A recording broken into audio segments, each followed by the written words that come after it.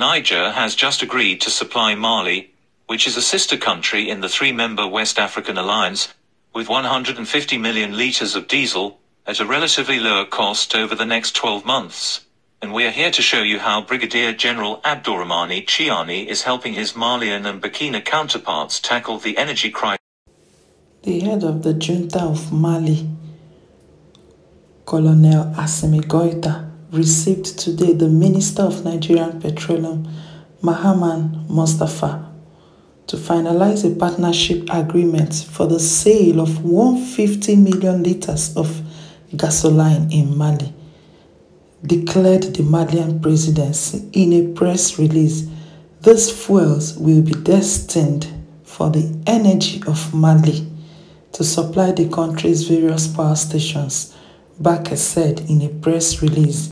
A week after making public that commitment, an announcement was made at the Malian presidential palace on April 16 that over the next 12 months, Mali will be supplied with relatively cheap diesel by Niger, in a move that will ease the shortages that Malians have been witnessing.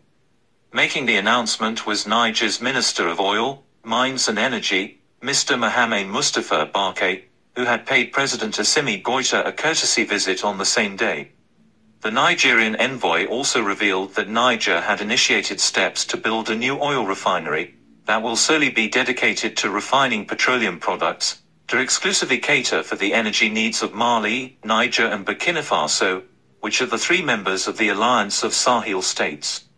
And without saying much, this is what he had to say in a media briefing, as he made public the new marketing contract between the two countries. We conveyed the greetings of his brother and friend, Brigadier General Abdourahmane Tchiani, President of the National Council for the Protection of the Homeland, and to whom we also took stock of the situation, because last year we had already signed a contract which had many difficulties in its execution, and therefore it was necessary that we identify those difficulties that we had last time and work on how to avoid them now. And sir, we presented to His Excellency the Head of State the solutions that we are considering so that this time things go well. The Head of State asked us to convey these thanks to the Head of State of Niger and provided us with advice in the context of strengthening this cooperation, which strengthens cohesion between the two populations.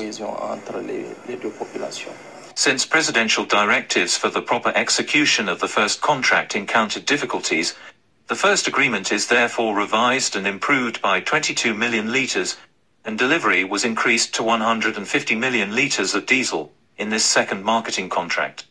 The first quantities will obviously arrive in the coming weeks. There are all the logistics that need to be put in place, and that is the aim of the team which is currently working. All the logistics will be put in place, so that things actually happen very quickly, and that this is reflected in the supply of energy. President Tchiani quickly asked to set up a new refinery, which will be located approximately 139 kilometers from Niamey.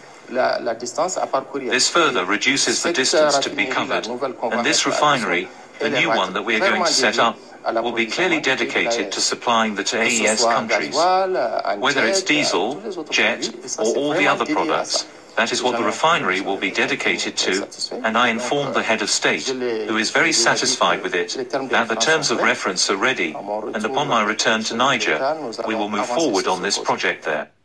This is a consolidation of achievements and progress that complements other AES projects. The head of state said we need wherever we can synergize our efforts to facilitate things between us, we can do that.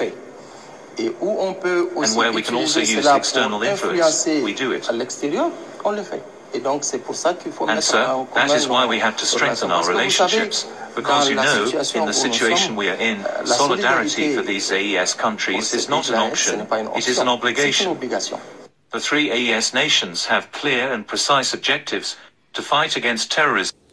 This contract is a very good development, is a good one in a good direction. This will strengthen the ties between these countries and will help alleviate the suffering of our population in terms of access to petroleum products, like he rightly said.